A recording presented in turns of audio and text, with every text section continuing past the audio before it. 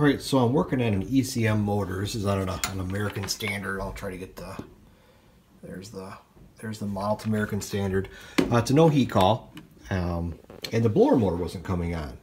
So I attached my uh, my ECM tester. I did power it up earlier.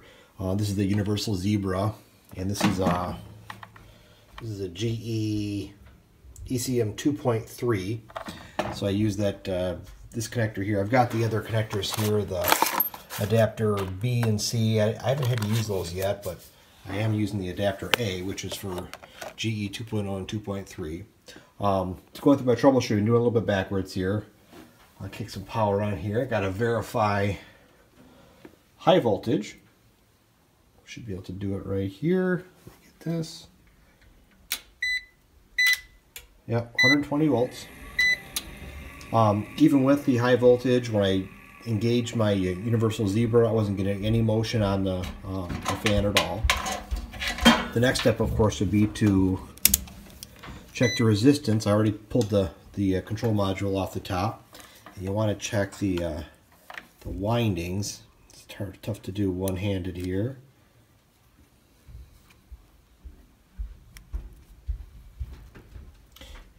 and the all windings are 4.9 and 4.8, 4.9.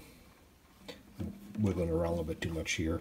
You get locked in. It's 4.9, 5.0. So the three windings, I tested all three of them. They're fine. So when we diagnose these ECM motors, if it has voltage and the windings are good, typically they say it's the uh, control module that's bad. So I went ahead and got a new control module. Right here in the box. American Standard, so I went to the Trane dealer and I got a new one. The new one comes as a two-piece. It has the, the, control module, and it has an adapter ring. Here's the adapter ring.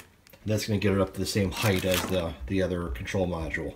Let me get this put together and we'll, we'll test it out see how we did. Alright, so now I've got the module changed. I've got my Universal Zebra uh, plugged in. I've got 24 volts coming off of the board. Um, see if I can get this uh, when you engage power, you'll see I've got power on. It's upside down, but I'm going to go ahead and turn the fan on. And there she goes.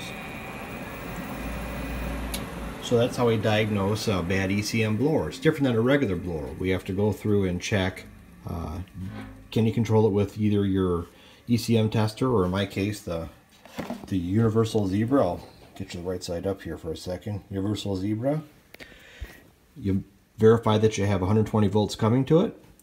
If you have 120 volts coming to it and you can't power it up with your Universal Zebra, pop off the ECM module that's here and you got to check the motor windings.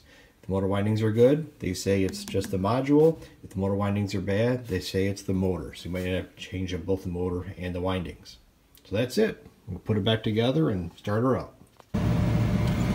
Hey, one last bit of caution for anybody that might be trying to do this themselves at home that warning right there is real. You take this ECM uh, control module off the back of a motor and go put your fingers inside here, even with no power connected to your furnace, you will zap yourself. And it hurts. Have a good day.